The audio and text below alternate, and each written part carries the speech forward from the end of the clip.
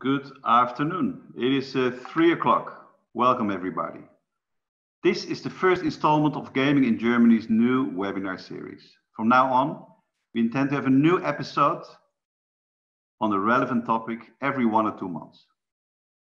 Gaming in Germany is a business community that seeks to facilitate the sharing of knowledge and networking against all shareholders. In addition to our webinars and print magazine that will be published soon, we also aim to organize a conference this fall, if circumstances permit, of course. Today's webinar will last 45 minutes and it will consist of three parts. First, we have a brief introduction on the current and future gambling advertising regulatory frameworks by a leading legal expert. Second, our three panelists will each address and answer two relevant topics. Third, during the last 15 minutes of the webinar, we will open up the discussion and invite our listeners to submit their own questions to our panelists. In order to submit your questions and to vote in our poll, please make use of the Slido app. It's anonymous, it's free. You can download it from the App Store or scan the QR code that you see on the screen and click the link. The events tag is GIG. GIG. Next slide, please. Gaming Germany and the business community we represent is being made possible by the generous support of our partners and sponsors. Thank you. We could not do this without you. Next slide, please. To fully participate in this webinar, as I mentioned a minute ago, and just to mention that to the people who have just uh, dialed in, you can vote in our poll and to submit questions to our panelists. It is necessary to make use of the Slido app. You can download it from the App Store or scan the QR code and click the link. It's anonymous and it's free. If you make use of the app, the event code for this webinar is GIG. Next slide, please.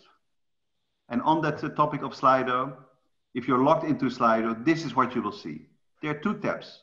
One to vote in our poll, the other to submit and upvote questions. You can switch between the tabs by clicking or tapping at the top of your screen.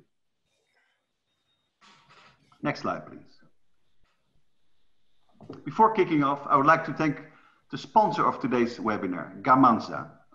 Gamanza is a leading software developer and provider of solutions to the iGaming industry. With us today, we have Robert Civil from uh, Malta, Director of Business Development at Gamanza. I will give the floor to Robert for a minute. Let's hear from him what Gamanza is all about. Robert, welcome. Thank you very much, Willem, and good afternoon, everybody. Uh, very briefly, then, Gamanza is a platform provider. We're backed by Grand Casino Baden of Switzerland, uh, where they finally had new regulation come into force last year that allowed initially the land based casinos to launch online projects. So they made an investment into Gamanza and we developed a brand new platform. And we're, in fact, the first uh, of the casinos to go live under those new regulations. In the next couple of months, uh, we'll also launch the online brands of two more of the casinos in Switzerland. So we've grown up very quickly uh, in this newly regulated, highly regulated market. Uh, it does provide us with a lot of really valuable experience that we would like to transfer to Germany, where regulations will present similar challenges. And if we look at the next slide, uh, some key strengths include a flexible compliance framework that can be easily adapted for the specific KYC, AML, and responsible gaming requirements. Um, and we're also, of course, uh, backed by a German speaking casino group. So we're very well positioned to help our counterparts in Germany make the most of the online opportunity. Um, and Gamanza also produces casino content in house, and that includes bespoke game development for the casinos that use our platform um, and also within our wider suite of iGaming products is our customizable gamification software and real-time CRM, which in the context of today's webinar uh, can both help maximize marketing budget and drive better player engagement and retention. Uh, so that's my introduction complete. Thank you for listening uh, from us at Gamanza. Best wishes for good health and enjoy today's webinar. Great. Thank you very much, uh, Robert. That was, that was very interesting. Let's move on uh, the next slide to today's poll. I would like to encourage all our listeners to participate and vote. In this poll, you can select up to two answers. In order to participate, as I said before, and for the people who just dialed in, welcome, scan the QR code and click the link. Or download the Slido app and enter the event tag GIG. Um, so will the gambling advertisement regulatory framework that come into force on July 1st become a success? Yes, yes, or no, no. You have two options to choose from here. We see people voting at this moment. I give it another uh, 10, 15 seconds. So please go to slido.com, enter the tag GIG, like gaming in Germany. See people voting at the moment. While we go to the next portion of uh, the webinar, you can keep it voting on this poll. Uh, again, the question is uh, on top. There's two yes and there's two no answers. The new rules offer the industry enough opportunities to advertise its product and services, yes. That's the first yes or no. There are insufficient opportunities for licensed operators to distinguish themselves from black market operators. Also a topic that uh, surely will come up uh, later. We slowly see some results. In the poll, I give it another few seconds. Um, again, point your camera of the phone to the QR code on the left side of your screen and you get straight to the Slido app. You can also use the Slido app later to upvote questions. Again, you don't have to submit questions on your own. You can upvote other people's questions all in the Slido app. Anyway, let's move on. We'll get back to the poll results after having heard from the panelists, just before we open the discussion to the audience questions.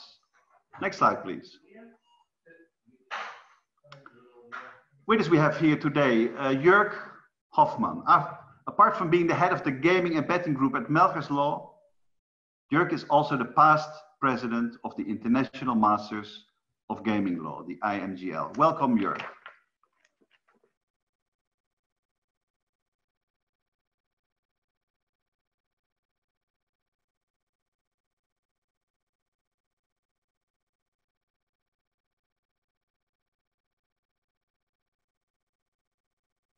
We have Dr. Blaue. As General Counsel of Sport One Media and AG, Mr. Blaue is responsible for the legal, regulatory and policy issues affecting the television stations and digital media platforms of the Sport One brand.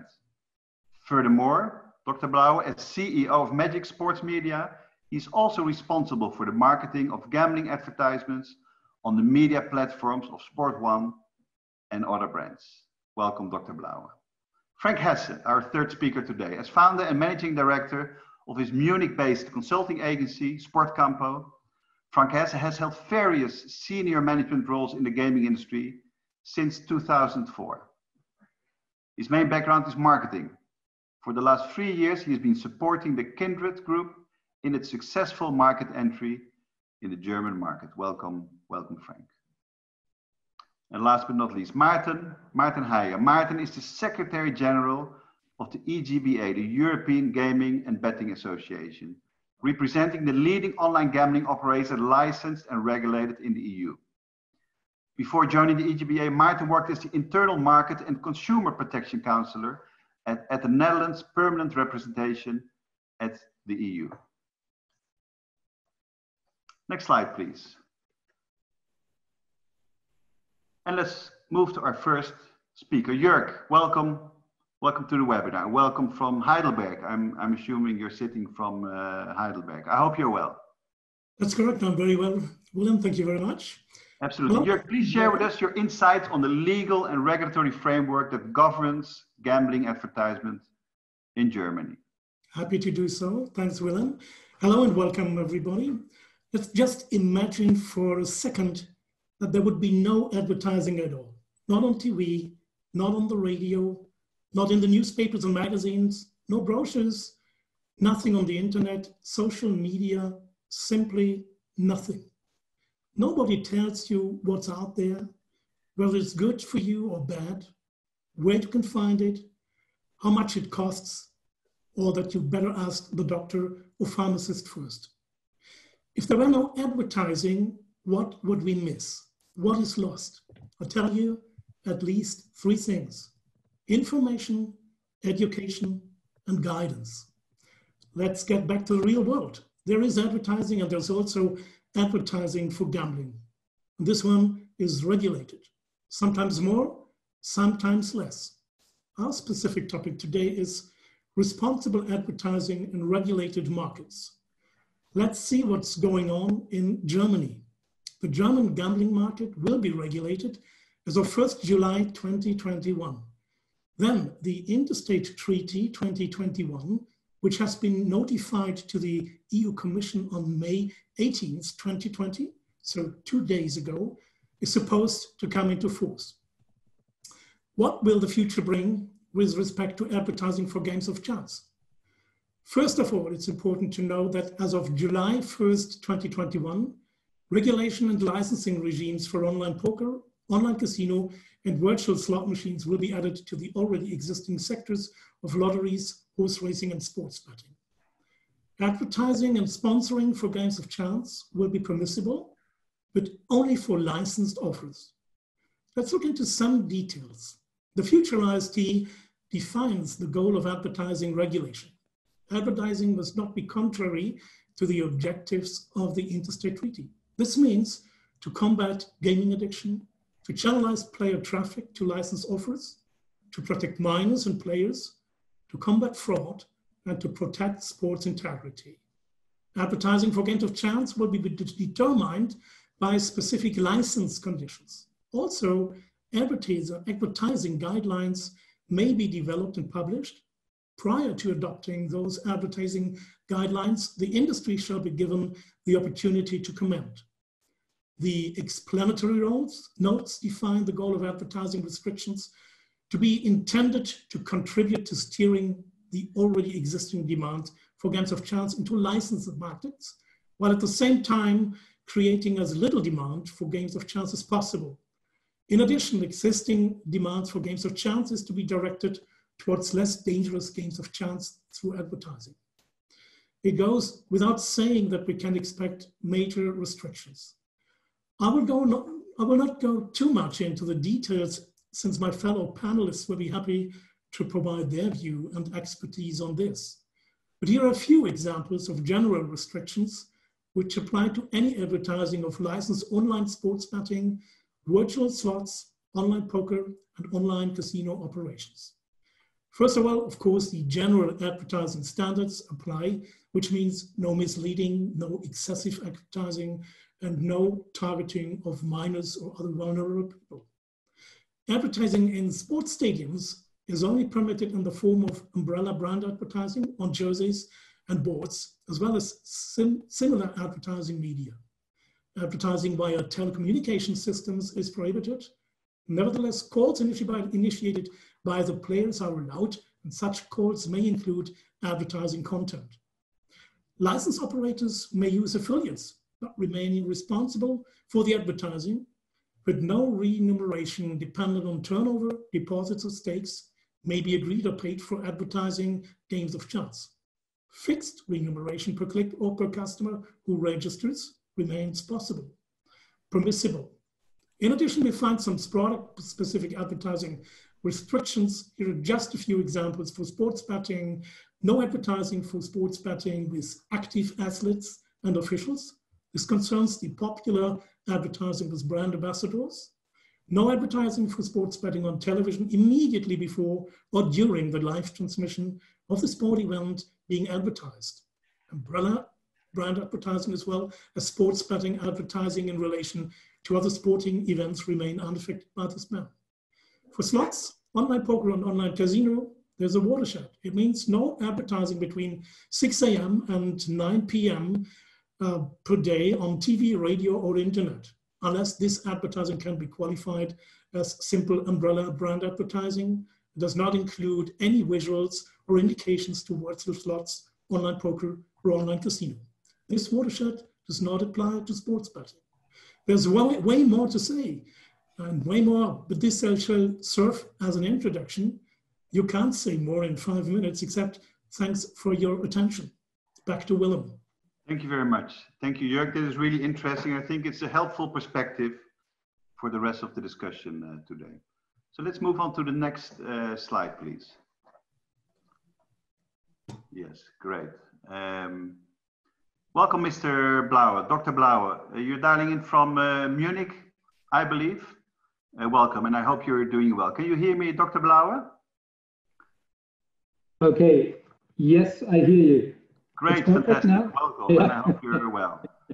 Um, so let's move to the next uh, slide for one second, where we have the first question to you. Uh, Dr. Blaue, uh, question breaks into a few parts. What is currently possible with regards to media advertising? One, who can advertise, under what conditions, and what are the regulatory risks? Uh, the floor is yours, Mr. Blaue. And also we have a slide supporting your answers, I believe.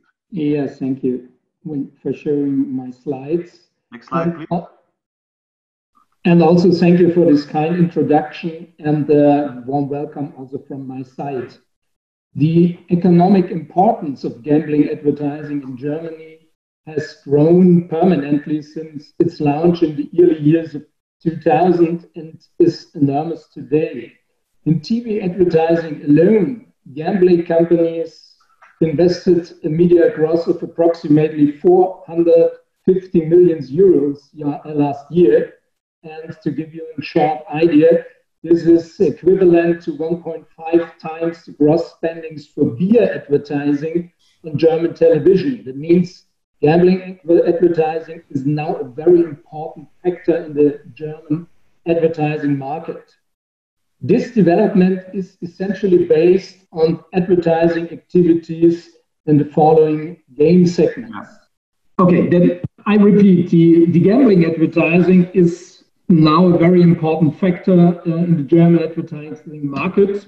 And this development based on advertising activities in the following gaming sectors. Firstly, the advertising of sports betting. As an, a distinction has to be made here whether it's a provider who has submitted an application for a German license based on the third amendment of the Interstate Treaty on Gambling, which came into force on the uh, 1st of January this year. For these applicants, the regional council in German, das Regierungspräsidium in Darmstadt, as responsible authority, has announced that the activities of the providers will not be subject to measures of the gambling authorities. In particular, they don't have to expect cease and desist orders. As far as providers with an EU license are concerned, that means you have not submitted an application. The result should not be different. Following the decision of the Darmstadt Administrative Court on the 1st of April this year to suspend the license procedure, in my opinion, the legal situation before the third amendment to the Interstate Treaty on Gambling came into force again, based on the case law of the European Court of Justice, in particular on the so-called Sebat Ince decision. Providers with an EU license can currently also and again advertise without expecting obstacles. As far as providers have a multi-channel digital product in which, in addition to sports betting, online casino poker and similar games are also offered, in my opinion, this is also legally possible at the moment as long as the procedure for granting gaming licenses is, suspe- um, is suspended and pending. Yeah. The second field of advertising in the is the advertising for online casino and poker based uh, poker based on uh, gaming license from the federal state of Schleswig-Holstein. These licenses were renewed in June 2019 based on a new law. They expressly allow nationwide advertising of licensed uh, gambling offers, especially on nationwide TV, unless this is out of proportion to advertise in Schleswig-Holstein. The background of the nationwide advertising approved by the authority is the fact that Schleswig-Holstein does not have regional media with a noticeable reach among users, so that only the nationwide TV channels um, and the advertising in these channels seen in Schleswig-Holstein can reach a larger number of people and can direct them to the license offers. Thirdly, the advertising for social online casino and poker, in particular free to play casino and poker, which can be seen to a lesser extent on the market, should, in my opinion, be possible insofar as the offers have clear and plausible business models with a single focus on the German market. In particular, when there are international casinos and poker offers under a similar brand. Um, fourthly, and only to complete the picture, of course, there is also advertising for the state lotteries to a significant extent. Back to the well, thank you for your very extensive uh, answer, Dr. Blaue. So I will catch the time. Yes, and your, your sound also is uh, better now. Um, and let's move on to the next uh, slide, please, with the next question for Dr. Blaue. Mr. Blaue, what will change when the fourth state gambling treaty comes into force next year on the 1st of July 2021? And what will be the impact of the restrictions on multi product offerings on advertising regulations? Uh, Dr. Blaue, please. Thank you. Um, will this increasing development of gambling advertising continue under the conditions of the new state into Treaty on Gambling 2021? That's the question. First of all, this required that a stable, competitive, competitive and economically attractive provider market can emerge or can be maintained under the new regulatory conditions in view of a large number of restrictions for the providers, and uh, I think you have mentioned that in advance. Um, for example, serious uh, product restrictions, especially concerning live betting and the so-called virtual slot machines, or waiting phases of five minutes when user changing the provider on the internet, and uh, that seems questionable. But should such a, such a market arise, in particular, the following differences from the current situation must be taken into account with regard to the advertising of gambling offers from July 1st, 2021. First, new is that daily between 6 a.m. and 9 p.m., there is no advertising allowed on TV, on radio, and internet for the so called virtual slot machines online poker and online casino. The political opponents of liberal regulation on the, uh, the gaming market, who originally even wanted to ban advertising until 11 p.m., have won in this point. Second, in my opinion, the rule that advertising should not be excessive is very remarkable. From the historical origin of this rule, it can be concluded that in particular, the content of the advertising is to be restricted. Above all, to the extent that advertising must not encourage users to play. So that means advertising is not allowed to advertise. In my opinion, this could make call to action advertising measures, including discounts, bonuses, etc., much more difficult than today. Third, with regard of the other important performance-oriented measures, the ban on affiliate advertising should also be emphasized. The same applies to quota-related deep integrations in similar performance tools for sports betting in the context of live tickers and live scores. Fourth, and finally, from my side, the note that the new regulation expressly provides that further advertising restrictions, in particular on TV and the internet, can be implemented within the scope of the gaming license to be granted. Here, it can be expected that the restrictions previously covered by advertising guidelines will be included in this licenses. This means, and I will emphasize that, that in the event of violations, the license is always in danger. Thank you for your attention and uh, back to you, Willem. Thank you, Dr. Blau. These were very simple questions um, and the answers were extremely insightful. Thank you very much. Um, we move to the next uh, speaker we have here, another person from uh, Munich here. Our second panelist, Frank. I'm very pleased you're here. Can you hear me? Can you see us? Yes, yes, yes. Can you hear me? We can hear you loud and clear. Yeah, perfect. Wonderful. How are you, Frank? I'm, I'm very fine. Actually, not in Munich currently, as uh, we have a bank holiday tomorrow, and I am at my parents' house in Lower Saxony. very nice. Very yeah. nice. Traveling. Yes. Now, so great. Um, so let's look, look at the first question, uh, Frank. What does the current advertising landscape for you as, as a, a buy-side expert look like?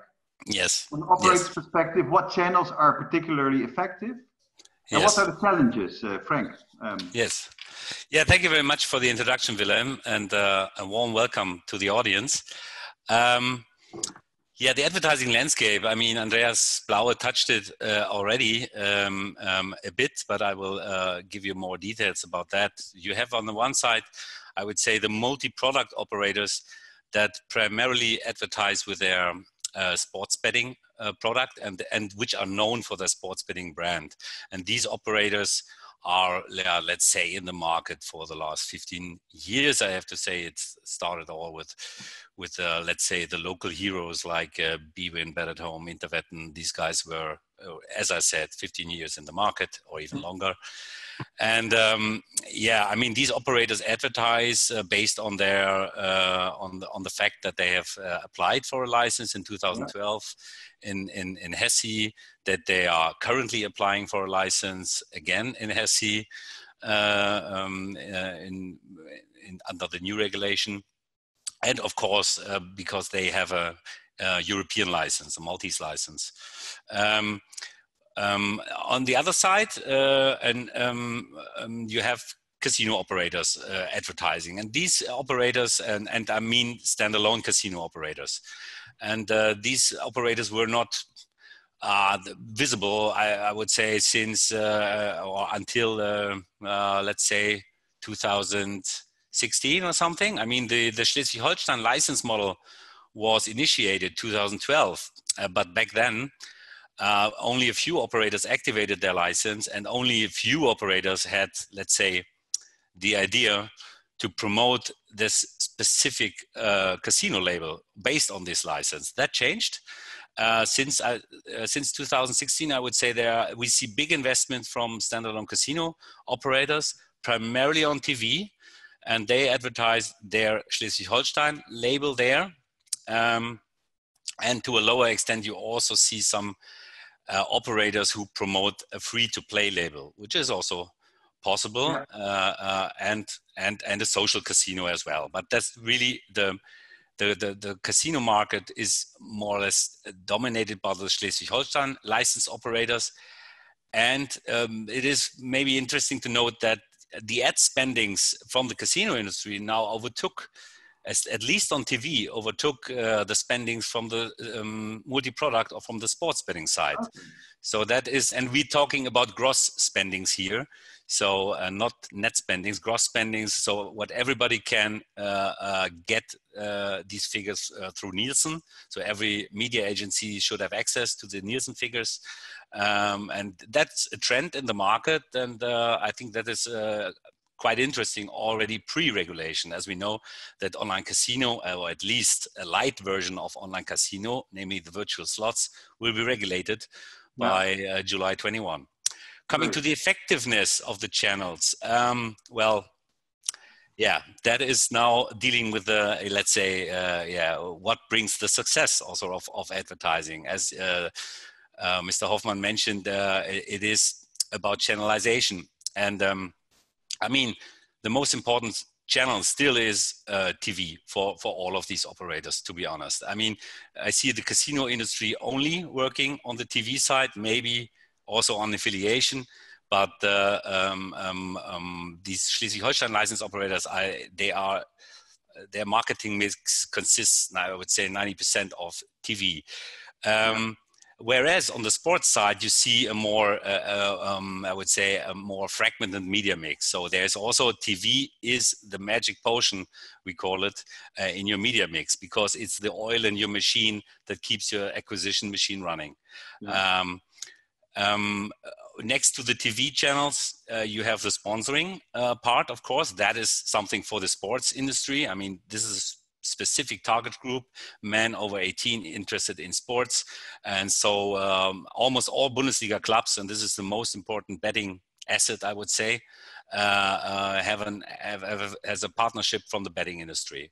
So sponsoring is another important channel, which is already quite crowded because there are 18 clubs in the Bundesliga, and of course, if you have a deal with them, it is an exclusive deal. Yeah. And Frank, I'm afraid we have to wrap up your first part yes. of the question. Maybe was there one one last thing you wanted to mention before we move to your second question? Yes. Great. Um, you mean uh, the effectiveness of the channels or, or, or the challenges uh, you have with these channels? The challenges, but uh, briefly so we can move on. Yes, yes, yes, yes. Just so, so the challenges I, I mentioned already. It is it is um, how to get a share of voice in those channels. I mean, it gets crowded. This this market gets more and more mature, even pre-regulation, and um, um, there you have exclusivities around the Bundesliga, not only uh, in sponsoring but also on TV. Um, some of you might know that Tipico is uh, official sponsor of the Bundesliga. So that comes along with exclusivities uh, around special ads in the Bundesliga. And uh, you have other big operators uh, with uh, big uh, with deep pockets, I would say. So for every new market entrant, it's also always a challenge to get share of voice in these in these channels. Yeah. Great, thank you, Frank. Um, fantastic, a really insightful part of the first question. Let's move to the next slide, please. Uh, exactly. And so, looking into the future, Frank, your second question: What is going to change from next year, the first of July, 2021, and what new marketing opportunities does the new state treaty bring, Frank? Yeah, I, I think um, the watershed ban that Jörg Hofmann mentioned uh, uh, and, and, and Dr. Blaue uh, from uh, 6 a.m. to 9 p.m. will affect uh, obviously the standalone casino operators, where today they are advertising, let's say, 24 7. Uh, um, they cannot advertise during this uh, uh, time period, during the day. but umbrella marketing, from my understanding, will be possible. So for the, for these multi-product operators, it they will not be impacted. So that will will have an effect. Um, um, well, re with regulation, there will be new market entrants, I, I, I assume. So uh, there will be an increased pressure and uh, uh, from the from the demand side. So uh, uh, the, the, market will get more crowded, and you know, uh, especially on the sports side, there are not so many assets that you uh, want to place your product or your brand around in, in, in, terms of sports content. So it's the Champions League, it's the Bundesliga, uh, the second division, and uh, it is already crowded there pre-regulation. So uh, um, um, that will that will increase uh, with with the new regulation.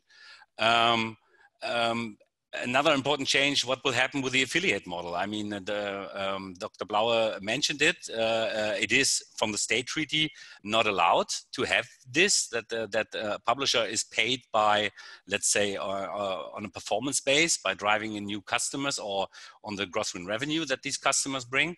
So let's see how this industry can respond to these challenges um, regarding new marketing opportunities, uh, well, there is an important channel in regulated market uh, which, which, is currently closed in, in Germany, which is uh, Google AdWords PPC market. So that that will open up. That's a new opportunity, uh, I would say. And um, yeah, I mean, um, um, the, the, advertising for virtual slots is will get legalized yeah? That's the first time that you or it's the first time that you have a let's say a proper license a federal license that you can advertise virtual slots on tv although there's a watershed ban it's still i think uh, a step in the right direction. Although it is still let's say a light casino version uh, that will be regulated. So in that sense, uh, uh, we all know that live casino and table games is a is an important fragment of the of the market, and uh, if that will not be regulated properly, then the demand will shift elsewhere, and that will be the black market. Yeah. Okay. Well, thank you for sharing your view of the future with us, um, Frank. I really appreciate it undoubtedly you you as listeners and dialing in at home you will have questions of, of yourself please do not hesitate to submit your questions through the Slido app. You can submit your questions now, as soon as you're logged in. Uh, and let's move on to our next and last panelist for now. Maarten, Maarten Haijer from, from Brussels. Maarten, how are you today? I'm very well. Thank you very much for having me on. Uh, apologize for your view of my uh, closet. Uh, I couldn't upload the virtual background, but I, I, I, uh, I, uh, I hope uh, the quality will be good nevertheless. It's a very good, Maarten. So, Maarten, let's look at the German advertising regulatory framework from a wider pan-European perspective. and we have a first question for you here. The European Gaming and Betting Association, the EGBA, recently issued the first pan-European code for responsible advertising for online gambling. How does this code relate to both the current and newly proposed German advertising regulations? That's our first question to you, Maarten. Yeah, thank you, Willem. Well, uh, I think, uh, I mean, advertising obviously extremely important part of uh, the business, online gambling business. I think Mr. Hofmann explained very well without advertising for online gambling, you have no idea who's regulated and who's not. So advertising is a very important part of our business. It's controversial, but important. And our code is a responsibility initiative of our members to show leadership and commitment and improve advertising standards throughout Europe, including in Germany. So the idea is that we will apply the code everywhere in Europe, including in Germany. It's also open to other operators to sign up to, provided, of course, they are willing to apply the measures and they're willing to be monitored because that's an integral part of the of the codes. You need to be able to submit yourself to a monitoring process.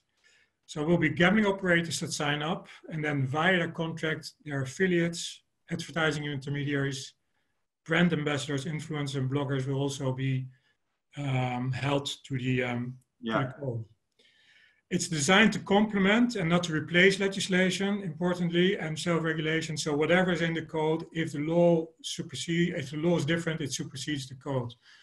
We've issued a gap analysis of 15 countries between our code and existing regulation, including against Germany.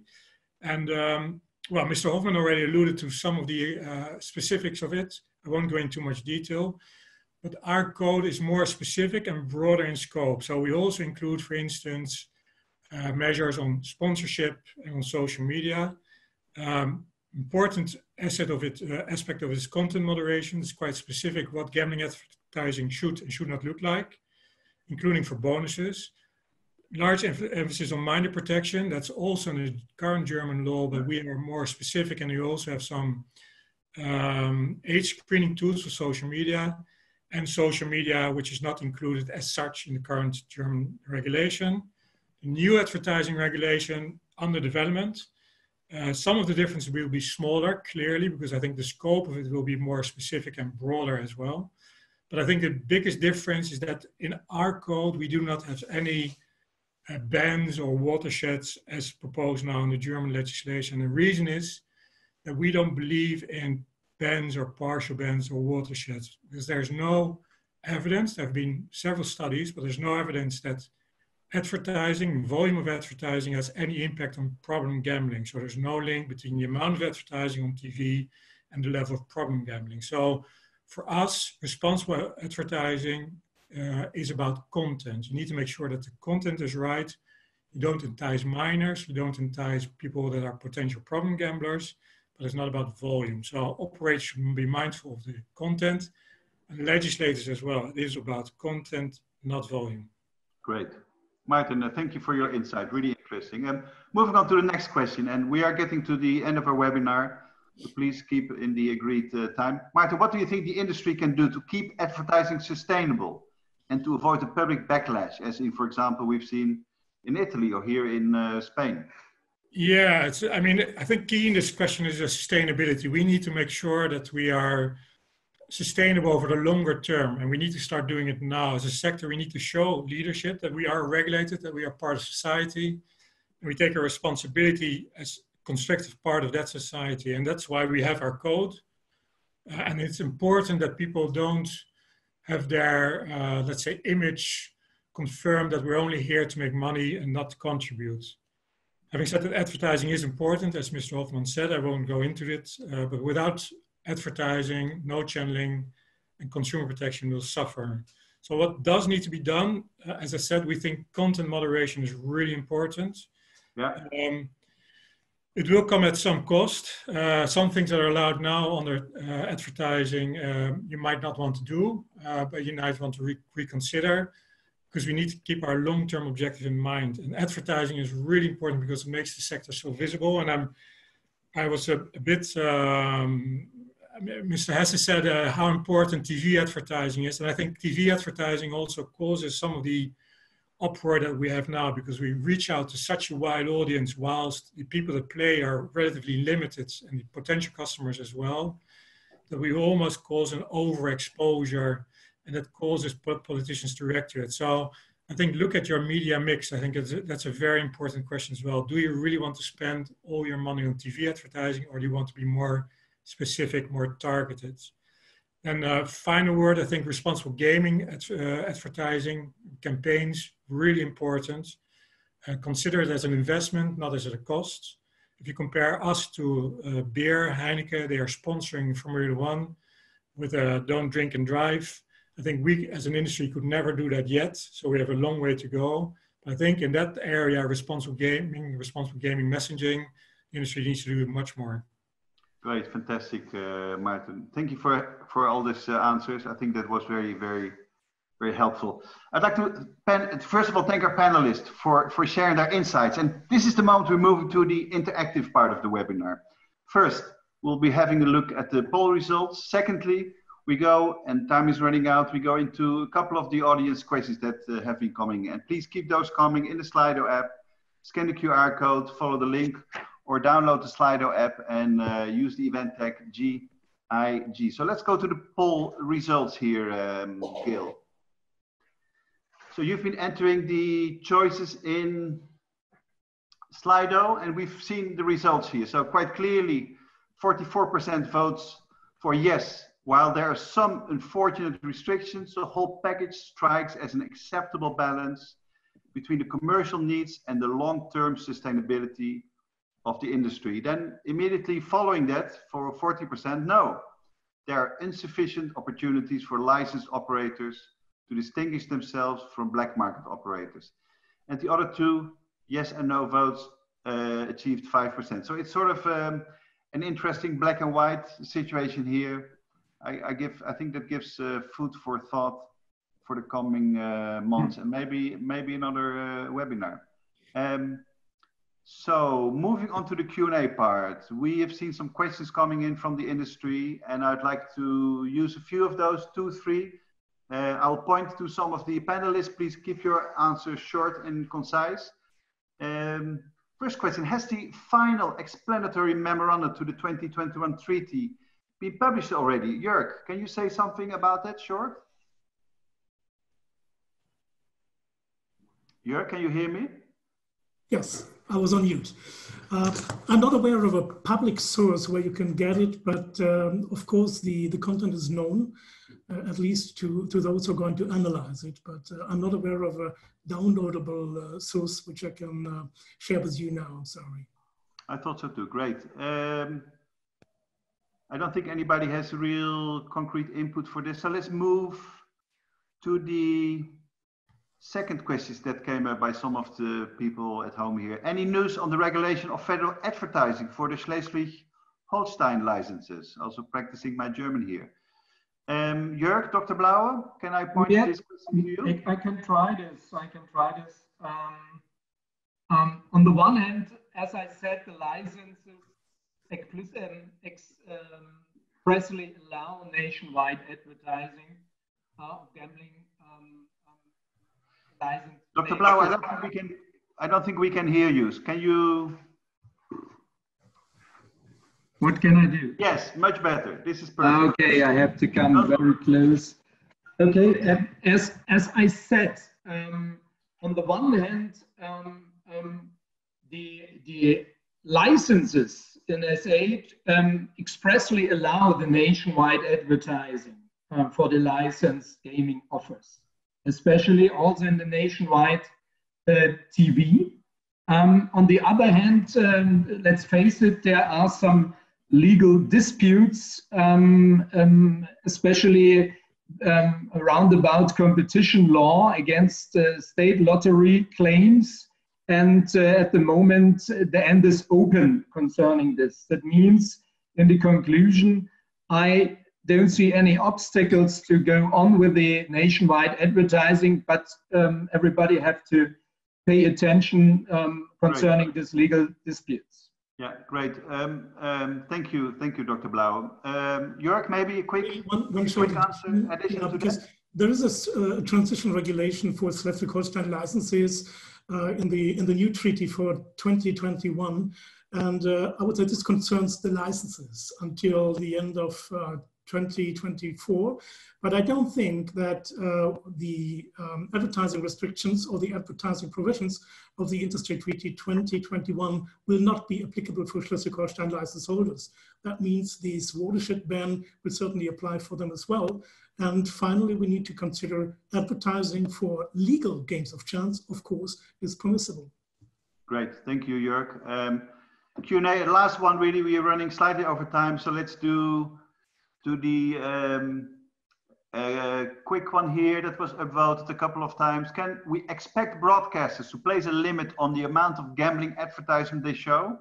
And what is the current status of broadcasters' advertising inventory? I think the second part of the question was already answered before, but the first part, can we expect broadcasters to place a limit? Um, I'm looking at uh, Frank, maybe Dr. Blaue. Yeah. Um, yeah maybe me first, and Andreas, you can maybe add to that. Uh, well, that, that, that I, I, mean, that is uh, now the question regarding self-regulation a bit, right? If the TV broadcasters come up with a with a, with a limit by themselves, like it happened in the UK, I, I think, well, maybe it is something that I mean, if you look at the Bundesliga now and you see seven, eight betting operators around the Bundesliga, I don't know if that is the right way forward to be honest. Although I work in this industry and I live from that, I have to say maybe and eh, that comes to the point of Maarten Haijer. Maybe that gives the wrong, also the wrong perception in the market out there. Uh, and um, but maybe now I hand over to Andreas what he has to say from yeah, a broadcaster. Dr. Blaue, please. I can make it short. I don't expect um, any self-regulation rules especially based on the fact that we have a very, very um, um, um, great uh, field of restriction in this new regulation. And uh, our task is to find the right ways to be compliant on the one hand and to, to get our marketing partners the best way to fulfill their um, achievements, especially concerning performance. It means no more regulation is my expectation. Great. Very clear and concise answer. And um, yeah, I'd like to wrap up the Q&A session uh, with that. We are running slightly over time. This was the first installment in the new Gaming in Holland uh, webinar, Gaming in Germany, sorry, webinar series. We offer similar webinar series. I was just going to say that for Gaming in Holland and Gaming in Spain uh, in the near future. This webinar was recorded. A link to the recording will be shared in our next newsletter. If you have not signed up for a free newsletter, please do so at the website gamingingermany.com. So gamingingermany.com. Um, I would like to thank today's speakers, Jörg, Dr. Blaue, Frank, and Maarten for their contributions and insights, as well as Robert, a sponsor Gamanza, for making this webcast possible. Finally, I'd like to thank our team, Jeroen, Sarah, Dan, Gil, and for all the work that we've been doing behind the scenes. I hope to see you soon. Unfortunately, this year's Gaming in Germany conference can't take place in spring as scheduled, but we aim to organize a live event after the summer. We have more details soon, and um, I look forward to meeting you in person. Thank you.